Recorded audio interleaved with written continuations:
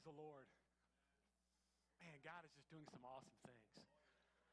What we're witnessing is absolutely, I mean, you see it in the physical and you see it with your physical eyes, but you're witnessing something so spiritual.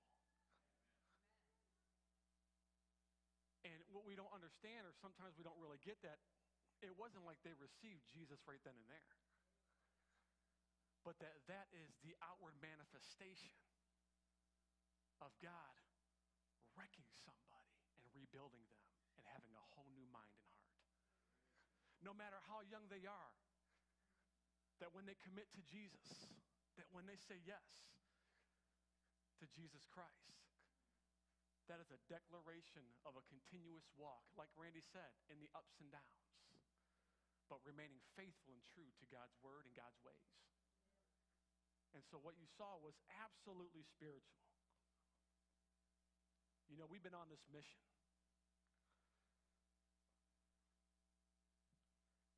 And our heart is to continue to pursue the hope of Jesus Christ. I uh, titled my message uh, For Hope's Sake. You know, you hear a lot of things for, for even hear people who don't know the Lord, for Christ's sake. They'll say these things and they don't even know what they're saying. But when you talk about sake, you're talking about something being completed for a purpose. There are people who cry out and don't, even know what they're crying out in anger, but they're, they're, they're declaring something. And so the message we want to continue to carry out is for hope's sake. Because there's a call, and it comes from a deep well.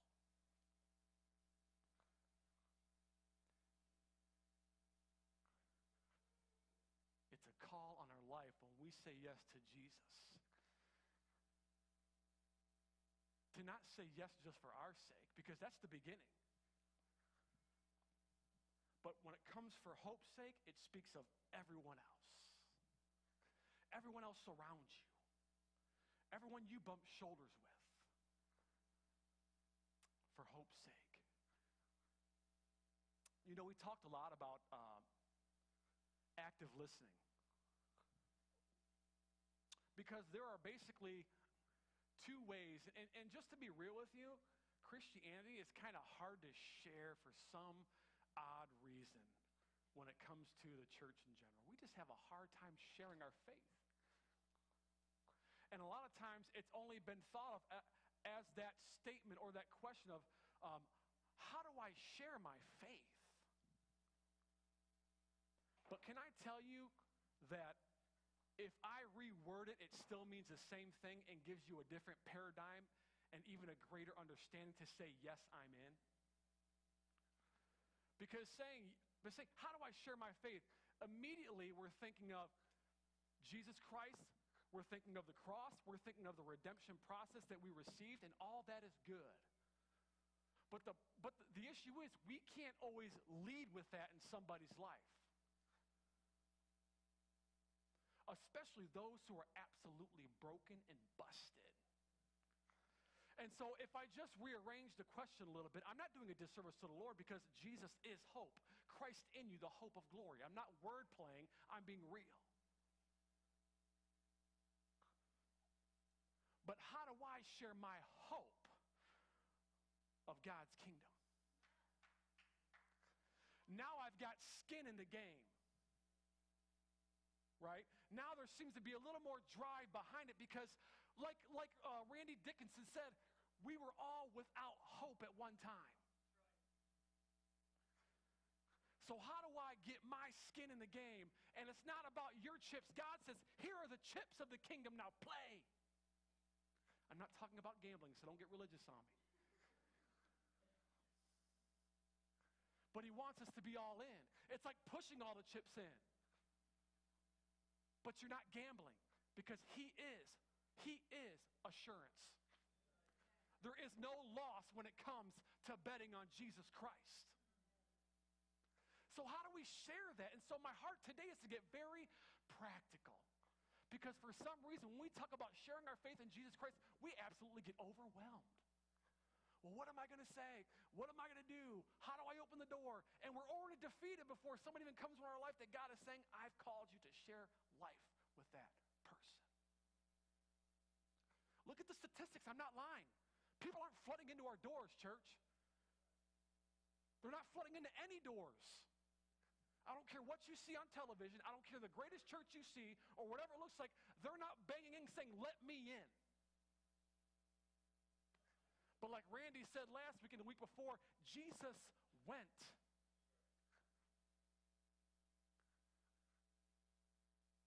He said, It's the sick who need a doctor. And at some point in our life, we are all sick because there is a spiritual, eternal gap in the depths of our spirit that God is crying out for all for never to perish, but all come to repentance, all come to a changed thought and changed life. Because when it comes to a changed life and a changed thought process, that means you want everything God has to offer in your life, not some. A true repentant heart says, I want everything Jesus has to offer for me. I don't want him hiding out on anything on me. And the scripture says that he reveals everything to us. Good job, team. Amen. You know, the Lord has had Ezekiel uh, in the Old Testament on my heart. And to be honest with you, I am ecstatic that today we don't have to share the message the Old Testament prophets had to share. Because it was basically, this is your purpose, and no one's going to listen to you because they're not listening to me, but go and do it anyway and do it for the rest of your life.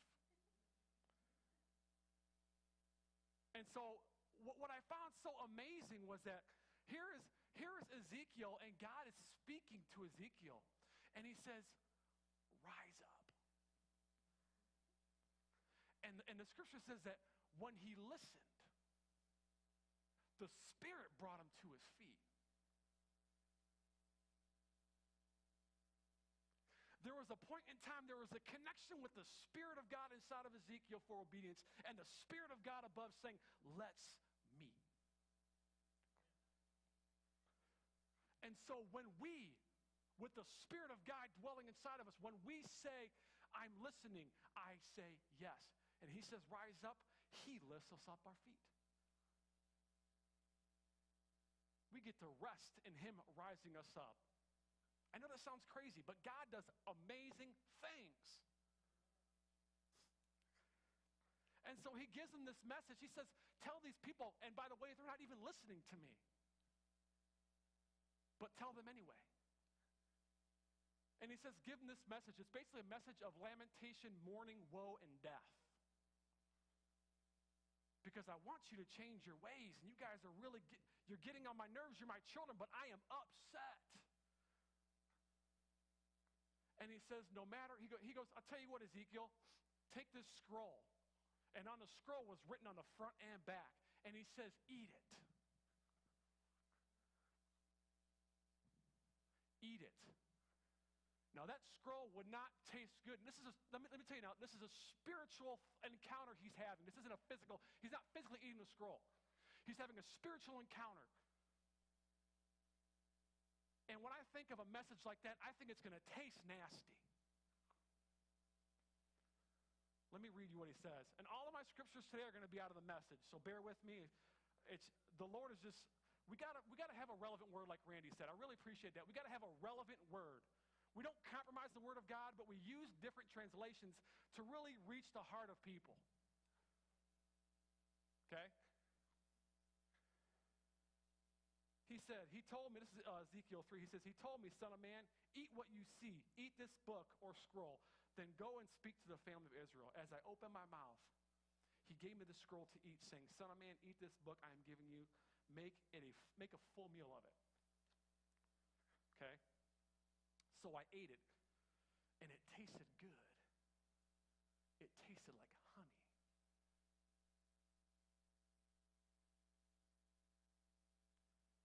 Praise God for the much more sweeter is the message of hope we now get to share?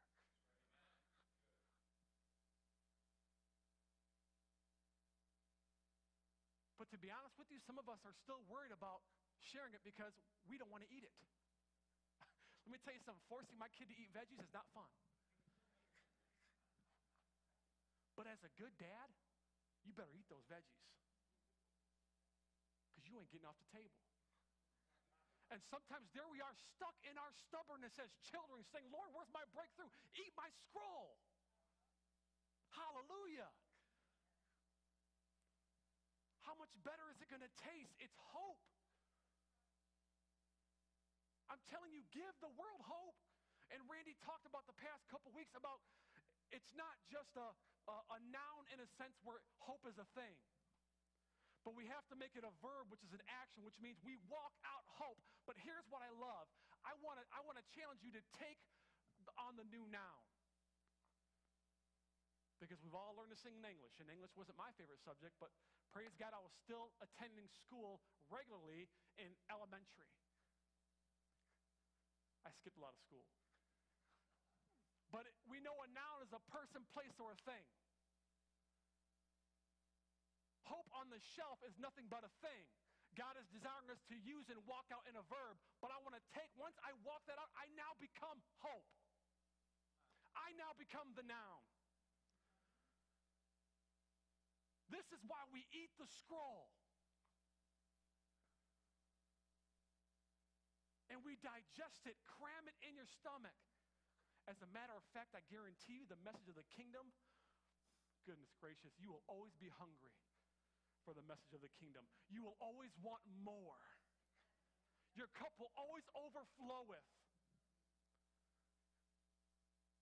with this message because we talked about the gospel.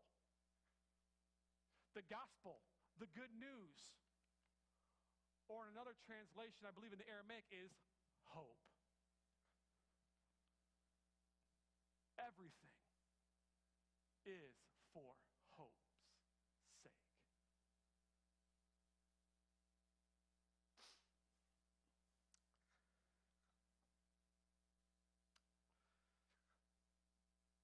I want to share some testimonies this morning, and I've had permission. But I want to read, I want to back up for hope's sake um, in 1 Corinthians chapter 9. And I'm going to read uh, starting in 19. And this, this, this translation, I really believe the Spirit led me to it because this is, this is the evidence. This is the practical walking out that I am living by and it's working. Because our heart, in the end, is to see those around us say yes to Jesus Christ. That should be our objective as we look forward. When I see somebody broken and busted, I know the plan for them, but I can't give it to them in the fullest yet. I've got to start feeding them right where they're at. So God is calling us to cram the message in us. The problem is we want to cram the message in somebody else when they're not ready for it. You ever tried cramming revelation on somebody?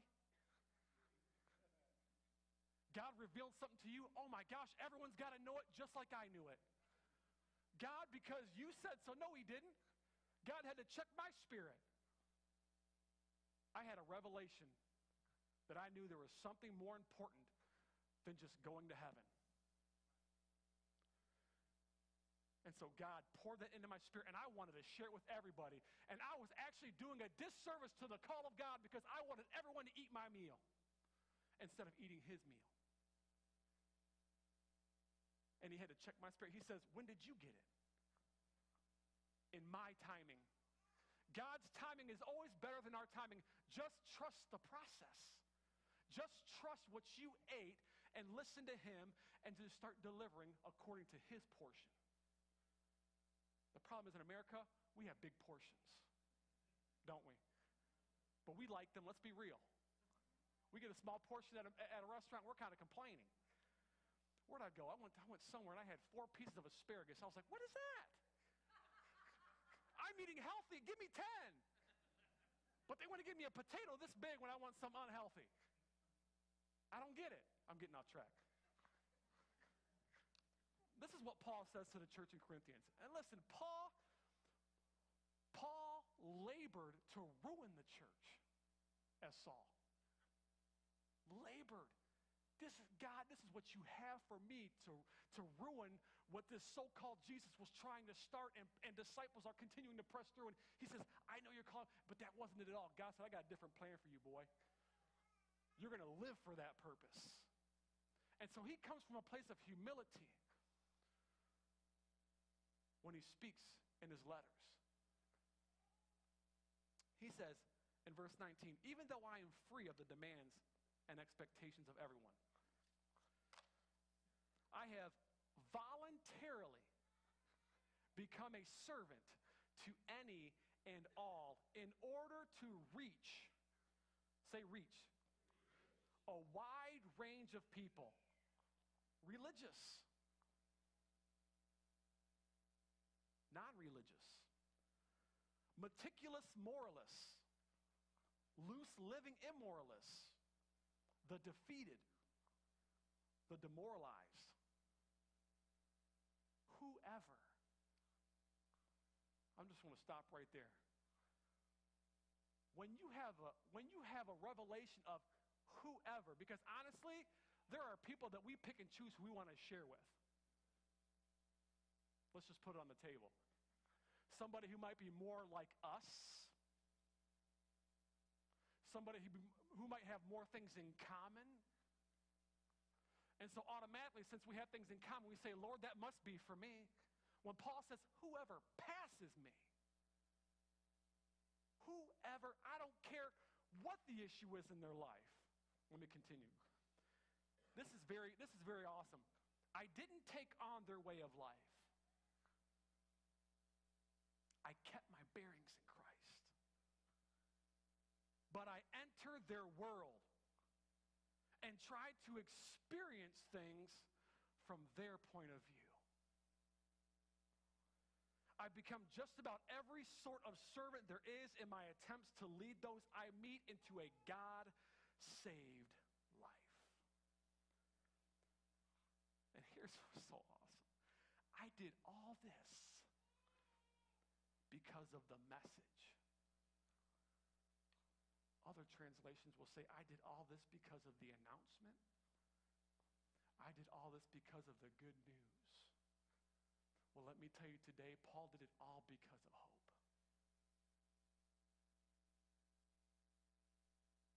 I didn't just want to talk about it, he says, but I wanted to be in on it. And then he goes on in 24 through 26. He starts talking about a race. And if you pull that just out of context, you can talk about salvation, this race we're running. You know, we received Christ, and now we're running this race of just, but what are we doing while we're running? But he, he, he has to attach it to the reason why I did everything. Because I have become a servant to any and to all who cross my path. In other translations, he says, I become all things to all people.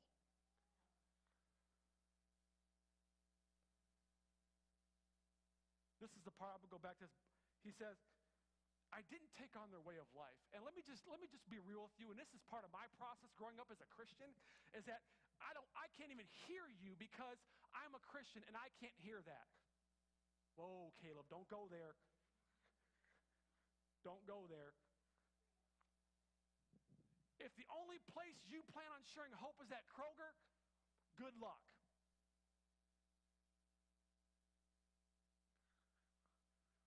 Tell me what's relationable about both of you buying Quaker Oats and telling somebody they need Jesus and they're going to hell and then you never see them again.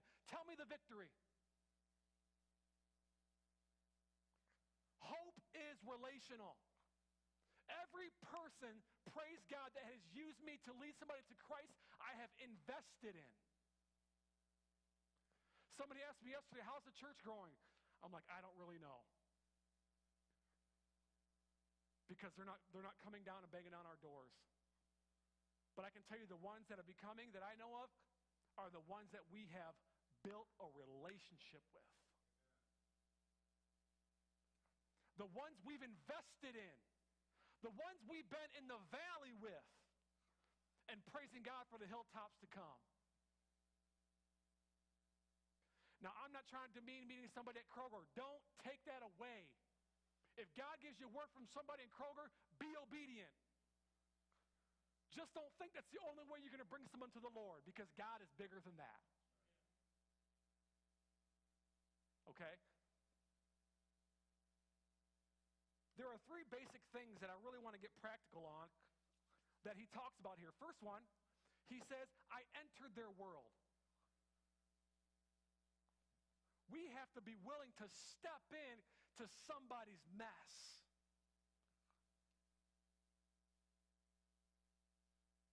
Because when you step in somebody's mess, you're saying, I now take it on.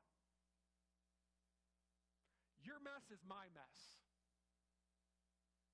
You want someone to buy in? Enter their world. Experience, he talks about. Experience things, which means we have to get practical and hands on. We can't sit back in the corner and say, now that I'm in their world, and we talk from this far away and don't experience anything hands on. Last time I checked, we were the hands and feet of Jesus.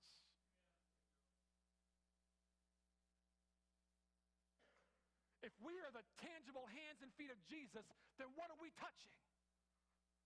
Only Christian stuff? Only Christian people?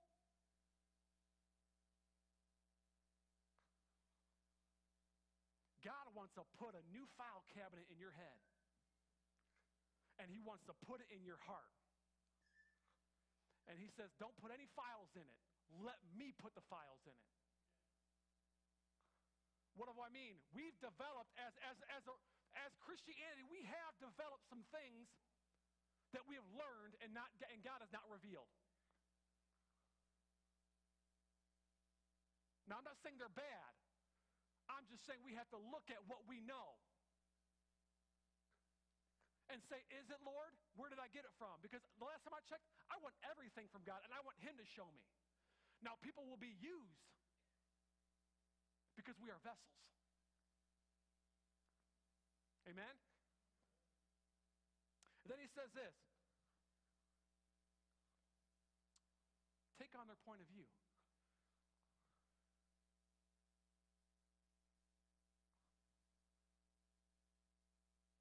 Listening. Active listening takes the Spirit of God, not you to listen because we know we can listen and we can hear and we can hear people unload on us. And sometimes that's just overbearing for the physical ear to take on. That's when we have to decrease and we have to let the Spirit increase and say, Lord, let him pour it on you. Because it's not about me. He's pouring on the Spirit. That way I know exactly how to, how to react. Active listening is first listening to the Spirit of God inside of you. What's the Spirit of God going to say inside of you? Be obedient. Be there for them. Be with them. Hang with them. Touch them. Hear them. Live with them. Do them. Everything like that. The hard stuff. That's the place he wants us to be. I said this last time. It's like this, this we tried so hard at, at being responsible for saving people's souls. Now, that might check your spirit a little bit because of the mental map you have. But when the Bible says, no one comes to the Father except he who draws him, he's saying is, there are people who are hopeless that I need you to lead to the water. Which means you have to get into the muck and mire with them. You have to enter their world. Then they will come to a point where they say, man, that is it, Lord. Then we step back and praise God for what He just did. And then we say, come on, here's the rest of our life called discipleship. This is what hope looks like to Jesus Christ, that He wants us to live out. Devin, raise your hand. That's Devin. You guys know Devin. Raise your hand if you met Devin. If you haven't, go meet her. She's a great gal. Devin has been cutting my hair, I don't know, for what, eight, nine years? I couldn't find a barber to save my life. I'm picky on my hair. Devin starts cutting my hair, and I'm like, yes, thank you, Lord. For five or six years, we talked about who God is and what he does in her chair. And there were times she would confess to me that after conversation, she would go back and she would weep. She told me this after the fact. You are growing.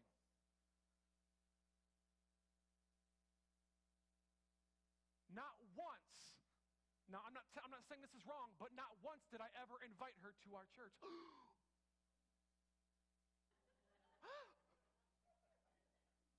but that's what we do. It's not bad. I'm not saying that. Invite people, please. But it wasn't time. God was using me to pour hope into her where she was at. I don't want to change any lick of her language. I don't want to change every lick of her thought process. I want God to do it. And if He wants to use me, I want to be obedient.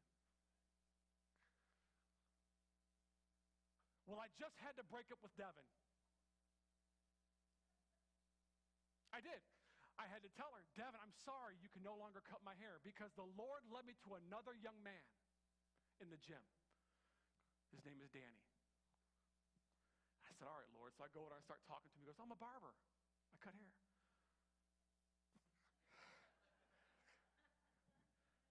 so in faith, I went to him. And I'm in his chair.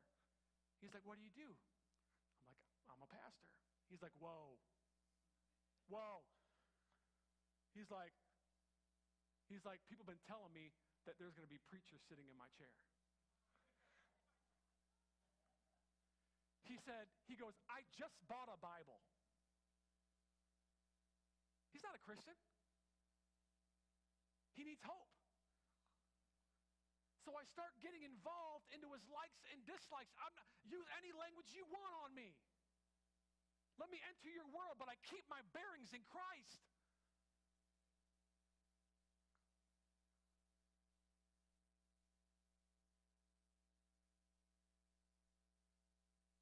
And now. He's in Puerto Rico getting married this weekend, but he can't wait to get back with me one on one. On one. He's hungry. He actually showed up to church. He invited himself. I didn't even invite him. He came with his fiance and his dad, Wally, who's like 70, and, and Wally loved it. Because he had, been, he had grown up in this atmosphere years ago and got away from it. And I was worried because he was quiet. I'm like, did he like it? He's like, he loved it, but he didn't show any emotion. He said, I had to keep myself from crying because my future daughter in law was right next to me. Right where he's at. I'm in a sports pub. I'm eating pizza with my family. Sean's Irish Tavern, some of the best pizza in town. Go there, tell them Caleb sent you. my buddy comes in who I haven't seen in years in, in my golf league. His mom is full blown dementia. And he's dropping the bombs, all the nasty words you can think of at me talking, and I'm just taking it in. Give me more. Give me more. And I say, Yes, I understand, and my heart breaks for you. But what if I told you there's a different set of glasses you can wear and you can see things differently? And he's like, This. What are these glasses? He said, What did he say? He said, Can I, can I, can I manipulate them myself? I said, No. You cannot. These are a new set of lenses for you. And you know what he said to me? He says, that's why I love you, Caleb. And I left it at that. Let him go home and let, let, let God fester in him while he sleeps. Let him wake him up early. Let him jack his head all up. Let him do that. Go, whatever it takes. Vince, raise your hand. My man Vince back there. Vince just got baptized a few weeks ago. Man, I love Vince. He gave me, he gave me the green light. I'm not going to put it all out there, but Vince came broken and busted. He was hurt. And he was a mess. And, but you know where I go? I, let me tell you real quick where I go.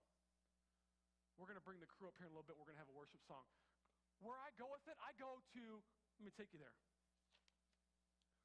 I go to 1 Corinthians 2 and 9 11. We all understand the scriptures that no eye has seen, no ear has heard, no mind has conceived what God has prepared for those who love him, right? But this is the place where I think of. This is where I think of for those that need hope because it says, for those that love him. Well, let me tell you that. I see people loving him when they can't. When you come to me and you're hopeless and I'm giving you hope, I already see you as loving God, so I give you the God stuff.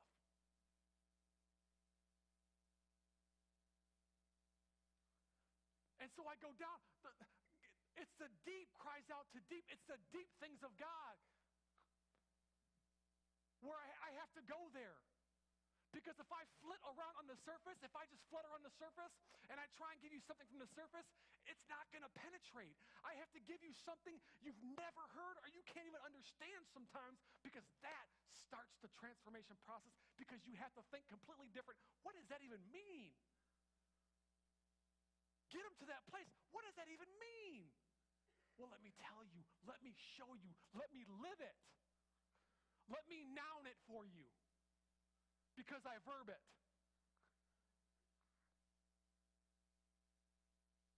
Does that make sense?